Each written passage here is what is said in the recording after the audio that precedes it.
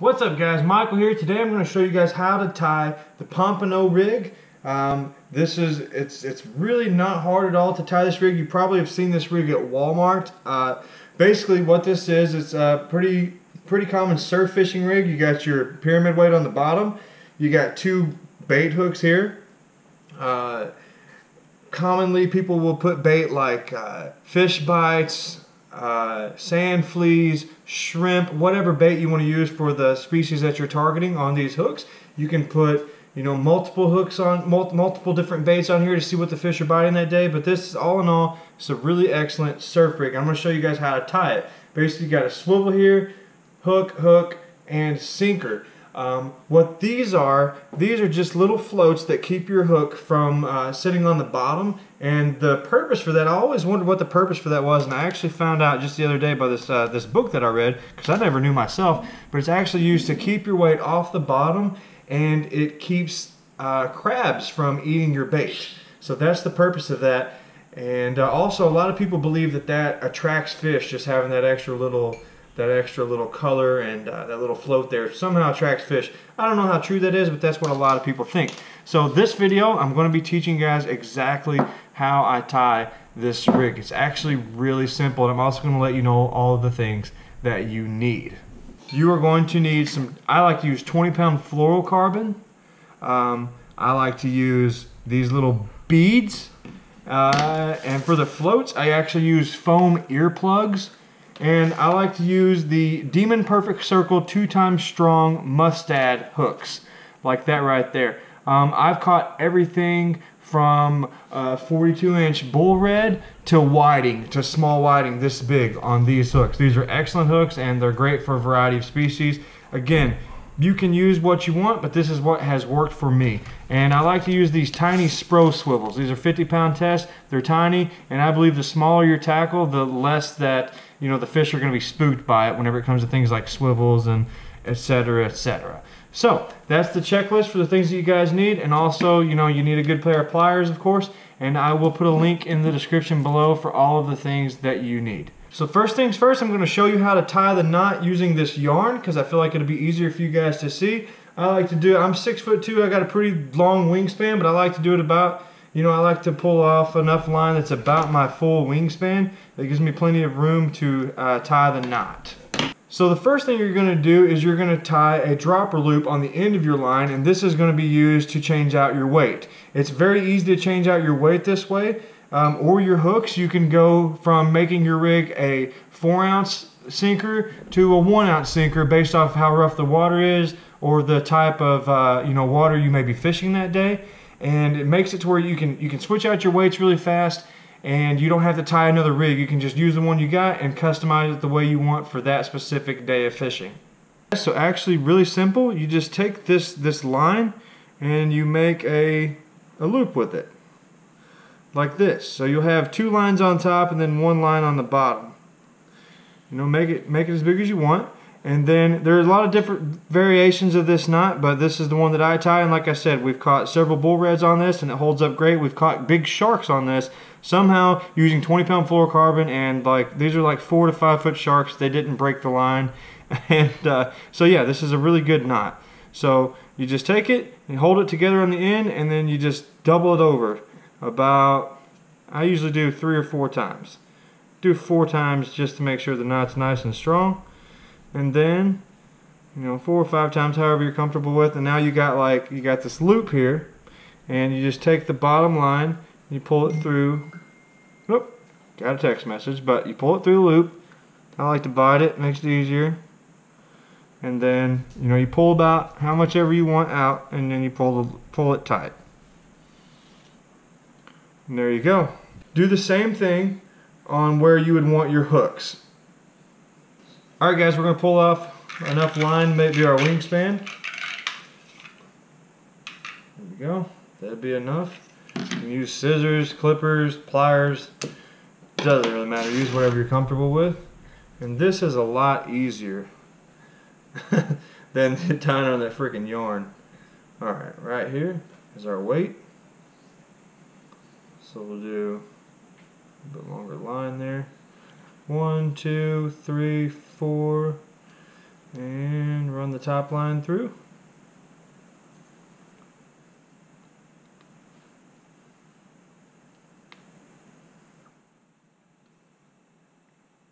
There we go. There's the weight for our weight. The, the, the loop for our weight. Go up a little ways. And again, guys, nice thing about this is you can customize it pretty much where you want the loops for your for your weight, where your hook. You know, you can customize the rig however you want. You can put the loops wherever you want to put them. There you go, guys. You can see I got three loops there. Even though one loop's bigger than the others, that's okay. It'll still work, and you know it's not perfect, but I could have been perfect if I was a little bit better at tying that that loop, but I, I, I oversized it. But still works. You guys still get the point. So we got fluorocarbon line here with three loops on it.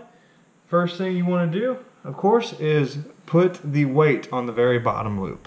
Camera died, so I took that time to charge it and take a shower. That's why I'm wearing a different shirt.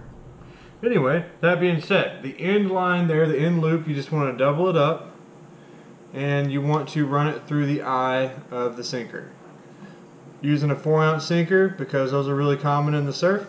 You can cast them really far and it's about the right amount of weight for the waters that I fish most of the time. But again, it's really easy to interchange these sinkers. You just reverse what you just did. You push it and you pull the loop over it. But yeah, just push it through there and you know wrap it around the loop. That's it. Same thing for the hooks.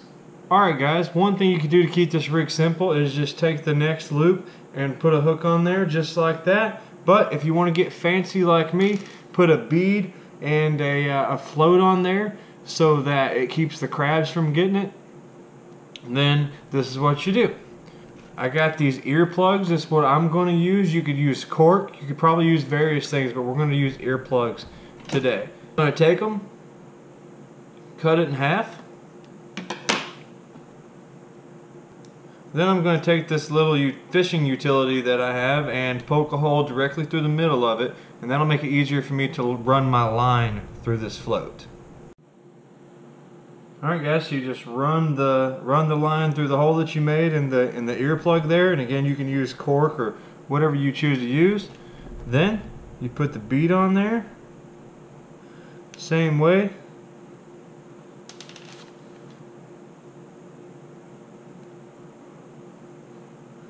And the final step, of course, is to put your hook on there. Just like this. You run the hook on there the same way that you would run the sinker on the end. And there you go. It's almost complete. You got your sinker, you got your hook with the bead and the float, and uh, now we're just gonna fix up the final loop and attach the swivel to the end of the of the rig almost complete you can see both hooks are on there and the only thing left to do is attach the swivel and you can use whatever knot you want I like to use the Palomar knot and then you're ready to go you got your sinker you got your two bait hooks with the uh, with the floats on them and then you got your swivel. And I always attach the swivel to my braid using, again, a Palomar knot. It's a really reliable knot and it's never failed me. So that's it, guys. That's the whole rig right there. Now, pro tip. These are the uh, the little containers at Walmart that uh, that like uh, like Kool-Aid packets and different flavored water packets come in. They also double excellent for storing your rigs in. So drop the sinker in and then just drop your rig down in there. And then actually I find that I can store like two rigs in there and things don't really get tangled up too bad. It might get tangled up a little bit, but it's pretty easy to pull out. That fluorocarbon doesn't seem to tangle that bad. And there you go. Now you got your rigs ready to go for your next fishing trip. That way you don't have to worry about tying this up when you get out there. You're ready to roll. Just attach it with your braided line. Another pro tip, I was a little bit skeptical of these at first. These are fish bites, but uh, we used them the other day and we caught like 15 whiting on these. Um, and uh, people people say that these kill pompano, uh, whiting, and I've even heard of people catching nice redfish off of these.